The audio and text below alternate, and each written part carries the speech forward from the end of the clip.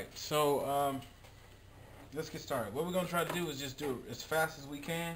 That way, you know, we can just make it more of a learning process. So right now I'm in Sonar 8 Producer Edition, and I've got the main screen screen comes up. When you um, open up Sonar, you get a quick start screen right here, which is really cool. You can either open a recent project, or you can open a new. You can go, and this will um, this will list actually like the last 10 projects that you've been working on. Um, you can open a new project and dig a little bit deeper or you can create a new project. Right now we're going to create a new project. Bam. And then right here gives you a screen. Um, it says location. That's where it goes. So this is going to my one of my hard drives. Cakewalk Projects. It says, and then there's also um, a path for the audio. So Cakewalk Projects and audio. Um, and then right here it's on normal. There's all kinds of little templates and stuff you can use, but I don't use templates because I just like to start with a blank slate. Alright, so right now uh, we're going to name this the YouTube song. I'll put it in all cap. YouTube song. Alright, so we're going to name it the YouTube song. And what it does is it creates a folder and everything for your project calls it YouTube song. So it creates it on your whatever drive that you want and you can change that in settings and then it makes audio files for you and everything. Then bam, goes open.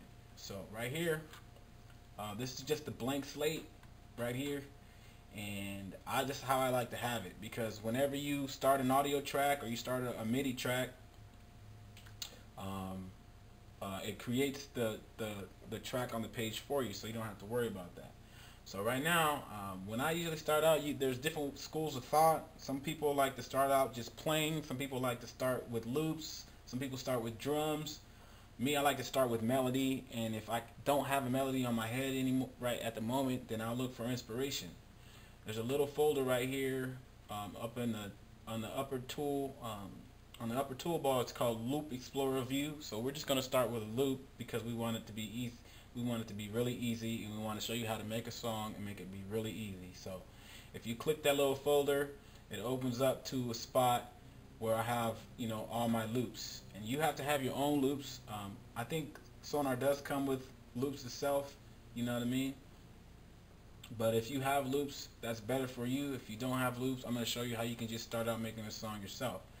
What's cool about Loop Explorer View is that you can um, basically audition any loops that you have. And so we're going to, that's what we're going to do right now.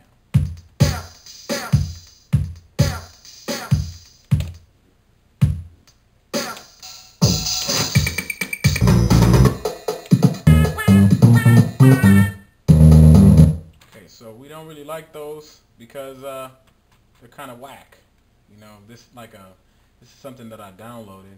What we're gonna do is go to Sony. I got a um, I got a lot of Sony acid loops that I want to go to, so we're gonna check those out. And we're gonna go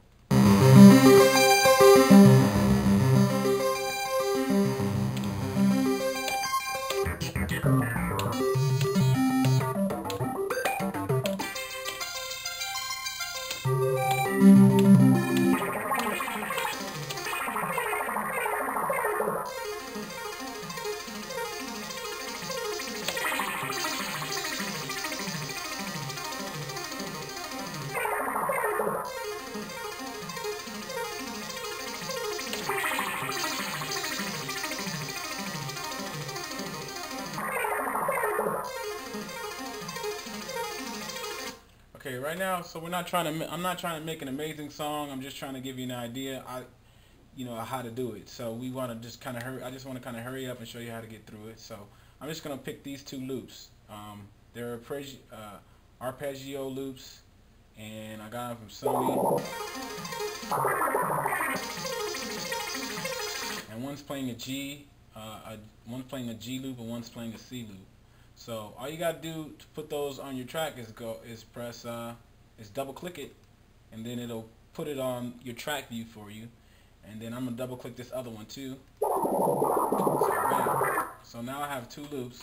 So now I'm gonna close Loop Explorer, and then you get this screen right here, and it's got the loop. It's only showing one loop because since you created one of the loops created a track, which was track one, as you can see.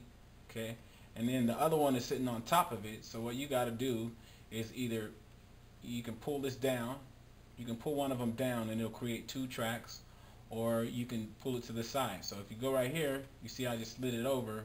Now there's two loops. And then I play.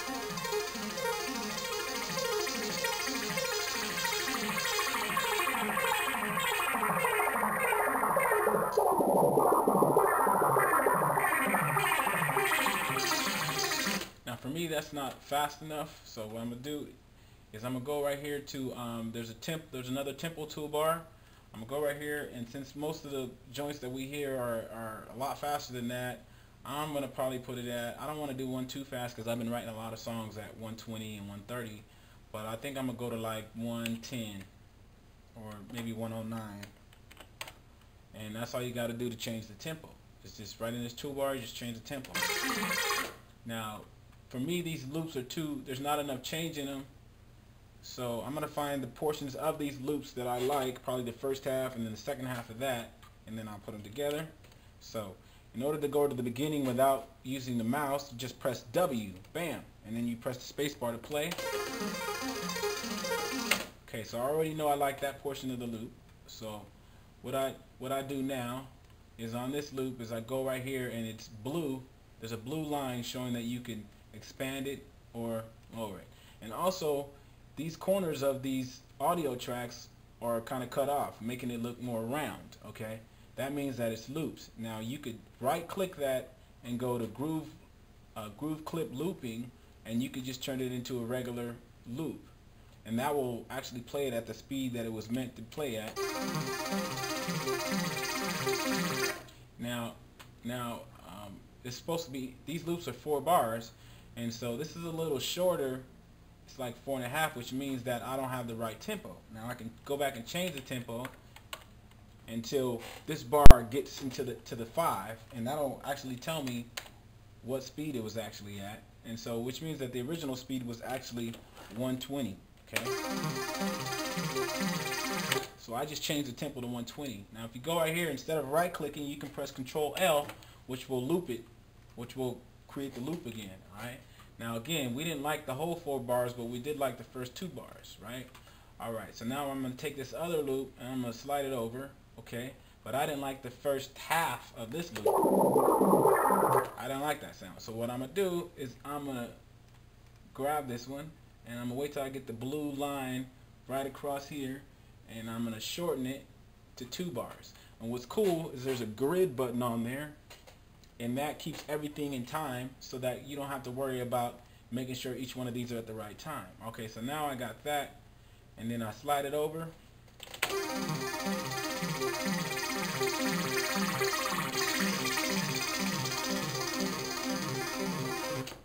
Ooh, I think my dog pooted.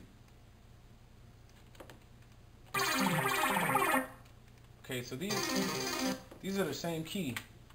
And that's not what I wanted. I wanted two different keys. I wanted a G and a C. So I'm going to go back to Loop Explorer. And I'm going to try to find it. Okay. So now I found it. I'm going to get that back. Then I'm going to close Loop Explorer again. Okay, so this one should be it. Let me see. So if we go ahead.